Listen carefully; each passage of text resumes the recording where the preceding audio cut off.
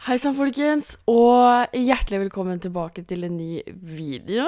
Den videoen her blir jo helt sinnssykt annerledes i forhold til andre videoer som jeg har på kanalen min. For de av dere som ikke har fått det her med seg, så har jeg i går vært med på Skal vi danse som en av Victor sine bakgrunnsdansere. For det første, det her er noe av det sykeste jeg har vært med på i hele mitt liv. Jeg er så enormt takknemlig for at Victor ville ha med meg på de greiene her. Da Victor sendte melding til meg for ca. en uke siden og hørte om jeg hadde lyst til å være med, så hadde jeg først og fremst tenkt til å liksom Tusen takk for dette, men dessverre så blir det for mye stress. Jeg løp inn til Markus og bare Vet du hva som har skjedd? Victor har spurt meg om å være med på Skal vi danse. Altså, what the fuck? Og jeg var jo veldig ærlig med Markus og sa det at herregud, det her, det tør jeg ikke gjøre. Jeg ringte mamma og jeg bare jeg har så lyst til å gjøre det, men jeg tør ikke, bla, bla. Men jeg ble fortalt gang på gang at det her er en once in a lifetime. Eller nå har jeg jo sagt til Skal vi danse at jeg har veldig lyst til å være med neste år. Men det gikk ikke lange tida før jeg takka ja, rett og slett fordi jeg har så lyst til å støtte Victor i det her, og fordi at jeg vil at angst skal slutte å sette begrensninger for livet mitt. Og it turned out great! Nå så skal jeg faktisk reagere på dansen som vi gjorde i går. Jeg har jo sett litt klipp fra det dere har filma og vist meg, men jeg har ikke sett hele sammenhengen av det. Så det er det jeg skal gjøre nå, og jeg kjenner jeg gleder meg masse, og jeg gruer meg litt. Jeg gjorde ingen steg feil, noe som jeg gjorde på den ene generalprøven, så det var flaks.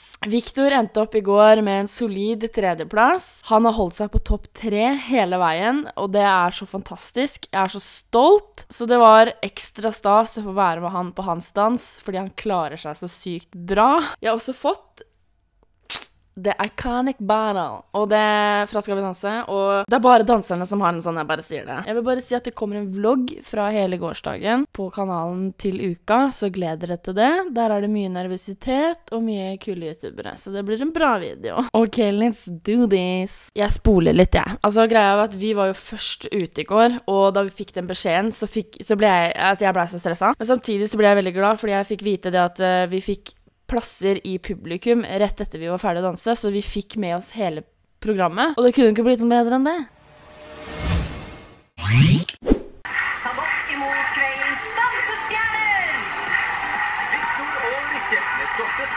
Og Finn Schjøll. Sandra og Bjørn. Og vi starter med Victor og Rikke, og i kveld så har de fått med seg to ikoner. Ja, det stemmer. Ikke nok med at de har fått med seg TV-dronninga Dorte Skappel. De har også fått med seg dommerfavoritten, medaljegrossisten, eh, kongen av cha-cha-cha, Kubens svar på salsa, eller salsans Cuban Pete, eller hva vi skal kalle det. Vi snakker selvfølgelig om Blomsterfinn. Og seks fantastiske youtubere. Hvor var våres introduksjon? Kødda. Altså, man ser på den sendinga hvor overraska jeg blir når jeg får min første tier. Ti! Jeg og Rikke jobber så ekstremt hardt, og når vi da får de tre tierne, så bare viser det at alt er verdt det. Dere skal danse cha-cha-cha til Oppan Gangnam Style. Å, jeg får tårer i øynene av Victor. Mm, jeg er så stolt av han. 3,4 milliarder views på YouTube. Jeg er lei av den allerede. For å være helt ærlig så er jo Gangnam Style utrolig irriterende. Ikke bare det, men du kan jo ikke ordene. Så du går bare min, min, min, ja. Det går ikke. Hæ? Hei! Dorte! Dorte! Altså, det er sjukt gøy, da, men det hadde jeg aldri trodd. Med hilsen fra Finn sjøl. Skal vi ha med Finn sjøl òg? Ja. Hæ? Det tuller! Har vi to? Jeg skal danse cha-cha-cha til Gangnam Style med Dorte Skappel og Finn Schjøll. Det høres bare så bisarr ut. Og jeg har fått med meg seks av Norges største youtubere også. Ja. Har vi fortalt Dorte at du skal ha så mange dansere?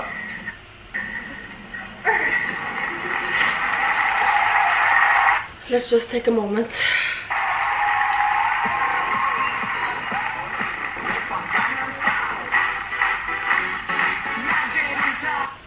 Nei, hvorfor legger det det? Åh, det orker jeg ikke.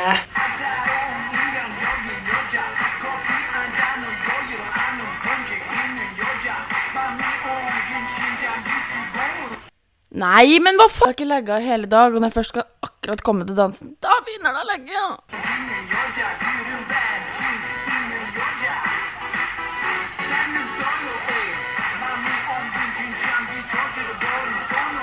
Det som er Unnskyld at jeg bare stopper litt, men altså det som er greia her, er at de trinnene vi tar her sånn Vi har hatt så mye problemer med å lande likt.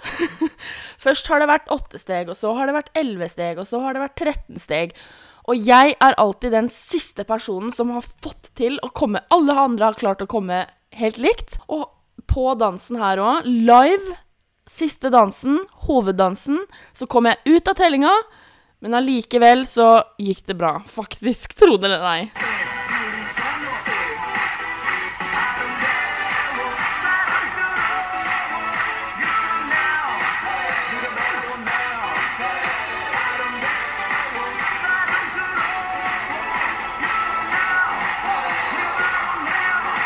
Å, gud.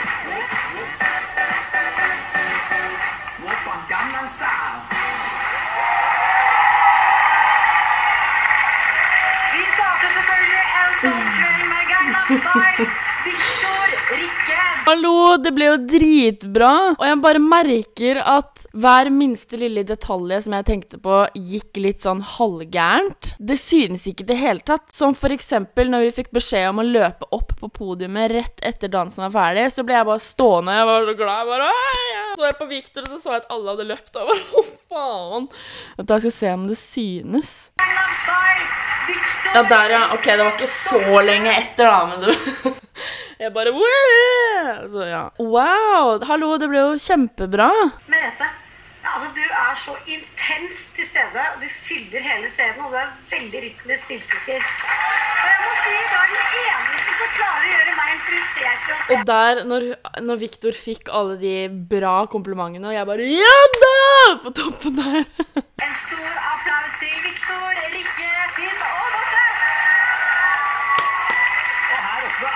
fullstendig bonanza. Jeg står her med hele, nesten hele YouTube.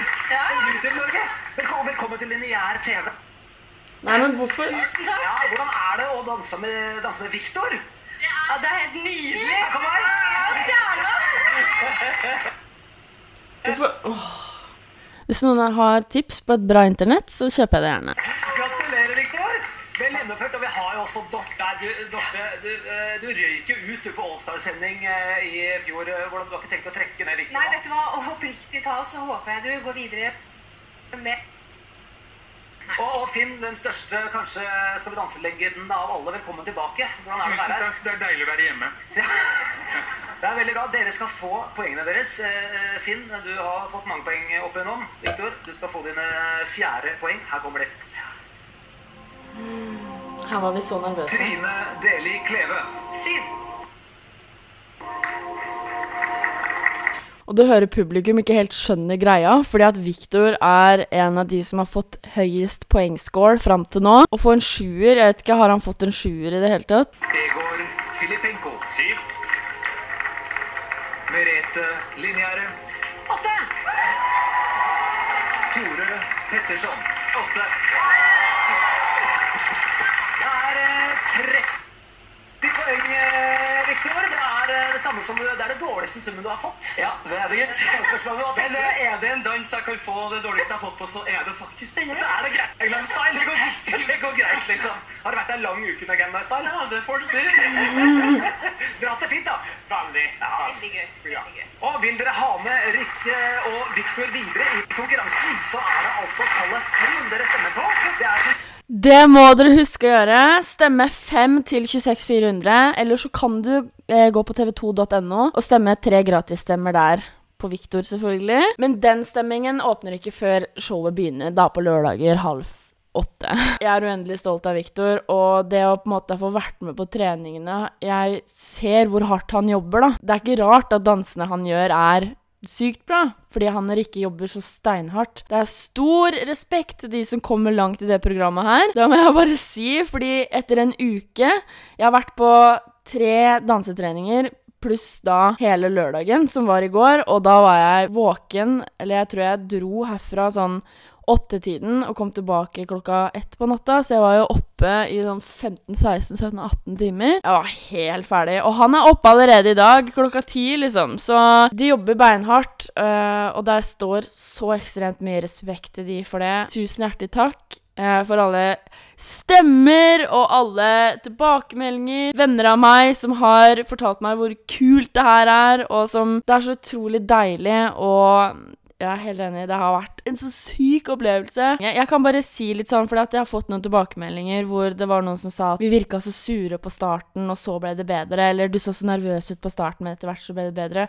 Poenget med videoen var at vi skulle være litt sånn ut ifra hvordan jeg har fått forklart videoen, så er Gangnam Style en slags sang og dans som en fuckerfinger til de rike i Korea, hvor du går rundt og har nesa litt høyt i sky og bare fuck det, liksom. Så det poenget er at vi skal være litt sånn høye på oss sjøl, og, og, så skal vi bare etter hvert. Det var også noen som sa at vi var veldig stive. Det var også poenget. Vi hadde mange stive bevegelser, for det var poenget. Dette skulle være veldig underholdning, og det var det absolutt. Herregud, så bra det så ut. Masse, masse farger. Skikkelig k-pop. Det var jo det som var eh, greia, da. Nei, jeg syns det var ufattelig moro å være med på å åpne hele Skal vi danse. Tusen takk igjen, Vikke og, Vikke og Riktor, ja.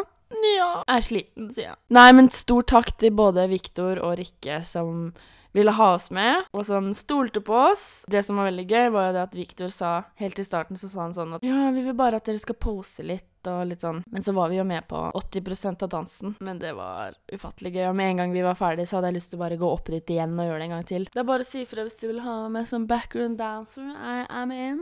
Nei, men tusen hjertelig takk for at dere så på videoen. Gjerne kommenter hva dere syns om dansen. Og så snakkes vi i neste uke. Love you guys. Ha det!